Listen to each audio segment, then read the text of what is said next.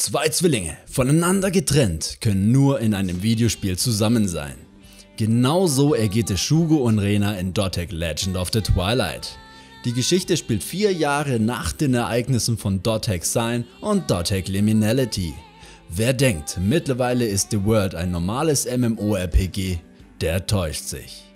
Shugo und Rena haben das Glück, dass sie in einem Wettbewerb die Avatare von Kite und Black Rose gewinnen.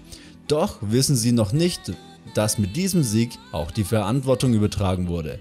Und so werden sie gezwungenermaßen in ein Abenteuer gezogen und müssen in die Fußstapfen ihrer Vorgänger treten. Jedoch als Chibi-Variante.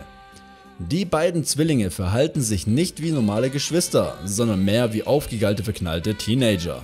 Zwischen denen scheint es in irgendeiner Form sexuell zu knistern.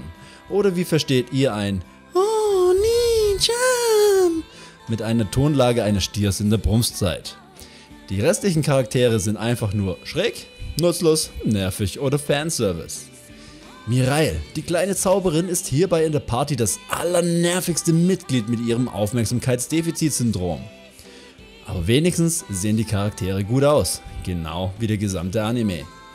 Der ganze Anime versucht zwar auf Ernst zu machen, kommt dann aber wiederum mit ihrer Incest-Chibi-Komödie um die Ecke.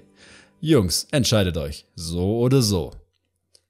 Das Opening New World ist von Roundtable, welche auch schon das Chobits Opening gemacht haben. Zusammen mit Nino rockt das Opening zwar nicht so sehr wie die seiner Vorgänger, ist aber gar nicht mal schlecht anzuhören. Vor allem wenn man auf Oh, oh, oh, oh, oh, oh Töne und Gesangseinlagen steht. Das Ending Emerald Green von den altbekannten Caesar ist leider nicht ihr bestes Werk.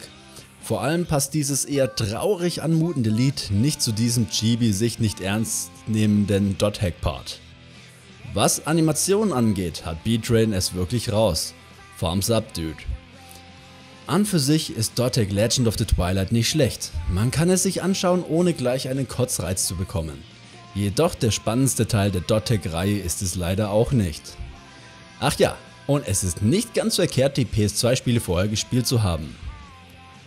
Wenn ihr diesen Teil der Dotec-Serie gesehen habt, schreibt doch in die Kommentare, wie er euch gefallen hat.